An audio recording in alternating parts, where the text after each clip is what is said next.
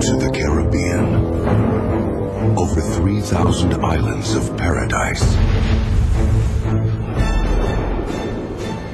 And one deadly curse.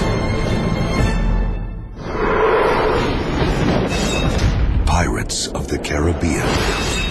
From producer Jerry Bruckheimer, Johnny Depp, Geoffrey Rush, Orlando Bloom. In a Gore Verbinski film.